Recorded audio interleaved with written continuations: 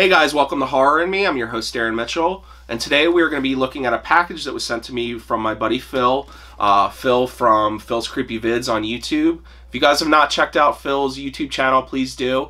I will put the link in the video description of this video. Phil has an amazing collection, definitely rivals mine. Uh, he has a lot of pieces that I really, really want, and the content he puts out is really, really good. If you guys are into my hauls and stuff like that, you guys are really going to like Phil's videos. So I will put the link to his channel in the video description, so please check that out after this video. But Phil sent me a package uh, a couple months ago.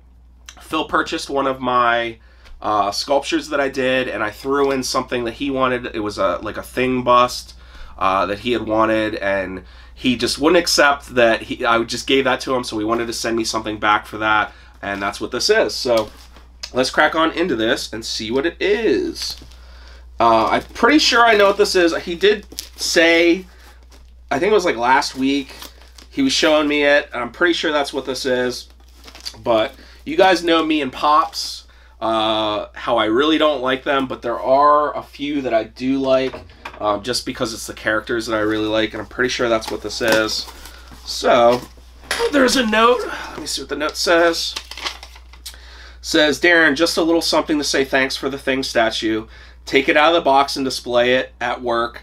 He'll help you stay out of the labyrinth. So cool. So I will definitely do that and display it at work and yes, it is awesome.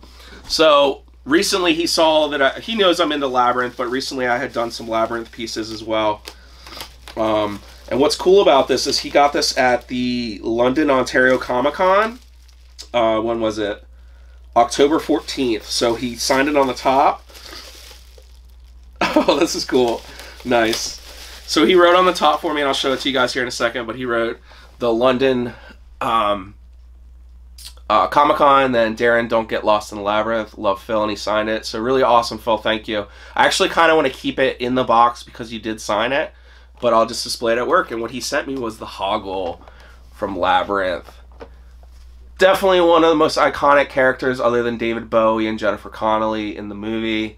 Um, same thing with Ludo as well, but I did really want this Hoggle one, so this is perfect. So thank you very much, Phil, for this. I do appreciate this. This will definitely go with my collection at work. And I love that you inscribed that. So, so cool. So awesome. Thanks, guys, for tuning into this short little video uh, today. Again, check out Phil's uh, YouTube channel that will be in the link in the video description below. And check out his videos. I think you guys are going to love the content that he puts out. So I want to say thanks, guys, for tuning in, and I'll see you guys next time. Hey, thanks for watching my video. If you guys enjoyed this content and would like to see future episodes of Horror in Me, please subscribe to the channel. If you'd like to keep in contact with me to see more of my content, you can check me out on Facebook, Instagram, and Twitter. Just search Horror in Me. See you guys next time.